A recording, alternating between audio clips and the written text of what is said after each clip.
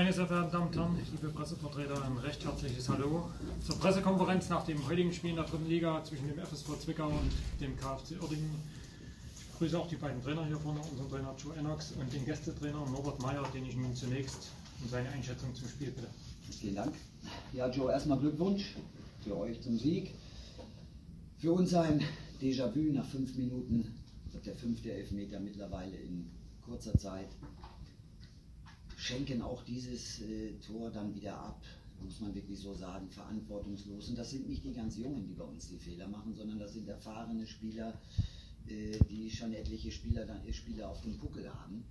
Dann haben wir auch in der ersten Halbzeit haben uns schwer getan, wieder ins Spiel zu finden. Äh, wir haben auch nicht viele Chancen irgendwo zugelassen, haben nochmal einen Freistoß, äh, äh, den es gab. Aber wir hatten eine durch Osave. Osave sowieso der tragische Held heute wenn man das so sagen darf. Die zweite Halbzeit war richtig gut von uns. Da haben wir Fußball gespielt, äh, haben unsere jungen Spieler, ob Litka, ob Flücke oder auch Dörfler, äh, äh, sehr gut den Ball laufen lassen. Wir hatten riesen Möglichkeiten durch Osave, Meter vor der Hütte, der dann an die Unterkante der Latte prallt, dann der Kopfball von Osave, der hinten an die Latte geht, dann der Schuss von Dörfler, äh, äh, den Brinkis spät sieht, aber hält, noch nicht platziert genug geschossen. Ja, und dann kommt es am Ende eines Spiels, weil wir haben ja aufgemacht ohne Ende. Das zweite Tor, äh, Tor ist für mich nicht das Entscheidende gewesen, sondern eben wieder einmal in ein Spiel reinzufinden, dem Gegner wieder die Türen zu öffnen, äh, Kontrolle dann über das Spiel zu behalten, sich tief zu stellen und auf diese Kontermöglichkeiten zu warten. Da müssen wir uns an die eigene Nase fassen. Aber wie gesagt, wenn wir diese Fehler machen und wir machen sie im Moment, was die individuellen Geschichten angeht, zuhauf, dann kannst du keine Spiele gewinnen. Vielen Dank. Dann kommen wir zur Einschätzung unseres Trainers. Joe, wie groß ist die Erleichterung bei dir? Gut, äh, Saison ähm, äh, bis jetzt äh, ähm, ist immer ein Auf und Ab und wir wissen, dass wir ähm, nach den zwei Niederlagen gegen Latte und Osnabrück, dass wir heute wieder punkten müssen. Ähm, Norbert hat ähm, auch richtig gesagt, also diese 1-0 kam uns sehr entgegen könnten uns da äh, mehr auf die äh, Defensivarbeit konzentrieren. In der ersten Halbzeit haben wir auch kaum was zugelassen in der ersten Halbzeit. Und dann in der zweiten Halbzeit war es wirklich so, dass wir halt diese Phase überstehen müssen, wo halt äh, Oerdingen halt drei, vier Riesenchancen haben. Muss man einfach dazu sagen. Ähm, ähm, wenn sie die reinmachen, dann wird es halt schwer für uns. Ähm, Gott sei Dank äh, ähm, ja, war zweimal Latte und äh, einmal halt Pommes richtig gut gehalten. Und ähm, diese Phase überstanden und dann hat die Mannschaft halt das gezeigt, was sie halt eigentlich können. Ähm, konsequent in den Zweikampf hinten. Ähm, Wachser war halt extrem wichtig für uns auf dem Platz heute, der halt fast alle Kopfballduelle gewonnen hat, ähm, sehr oft gerettet ähm, in 1 gegen 1 Situationen. Hinten Brian auch ähm, eine sehr ordentliche Leistung gebracht und dann halt freuen wir uns natürlich äh, Tages äh, über halt diese 2-0, dass wir ein bisschen Ruhe haben. Wir können es halt vielleicht zehn Minuten früher machen, aber es ist äh, egal, wir machen das und, äh, und gewinnen das Spiel. Ob es verdient ist oder nicht, das sind drei Punkte, die uns sehr, sehr, sehr, sehr gut tun. Und ja, ich wünsche meinem Kollegen halt Norbert äh, alles, alles Gute für die weitere Spiele. Dankeschön. Ja, soweit die beiden Trainer mit ihren Einschätzungen. Gibt es Fragen von Ihnen? Einen Moment, wir reichen Ihnen das Mikrofon.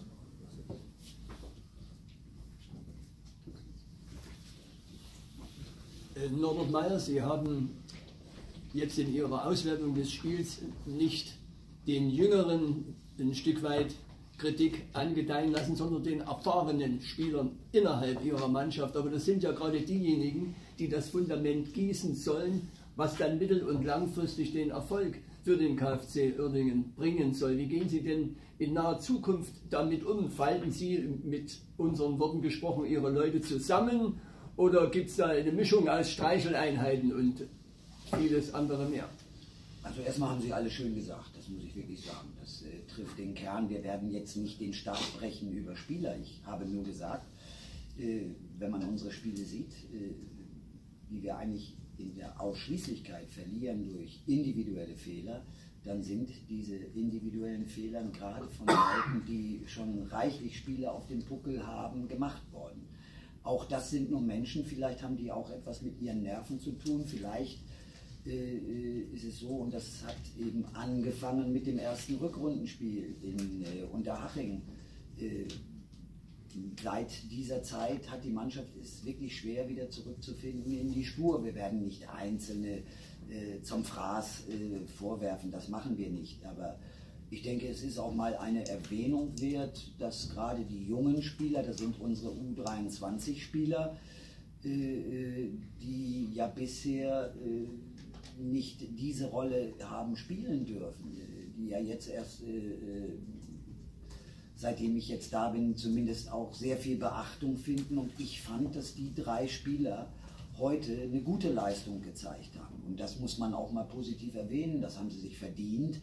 Äh, genauso würde ich natürlich auch die Gesamtleistung der Mannschaft äh, gerne loben, aber dafür äh, dürfen wir diese Fehler eben dann nicht machen. Aber es ist damit nicht getan, jetzt auf Einzelne draufzuhauen, äh, weil das sage ich auch immer, das sind die Jungs, die wir zur Verfügung haben. Natürlich fehlen im Moment auch diverse Spieler, aber das ist, kann kein Argument sein, das haben andere Vereine auch. Äh, äh, das sind die Spieler, die wir haben, die wir zur Verfügung haben und andere haben wir nicht. So sieht es aus. Ich hoffe, ich habe das damit gut beantwortet. Gibt es weitere Fragen? Das ist nicht der Fall ist, wünsche ich unseren Gästen eine angenehme Heimreise für die kommenden Aufgaben. Alles Gute, Ihnen allen einen schönen Feierabend. Kommen Sie gut nach Hause. Tschüss. Jawohl.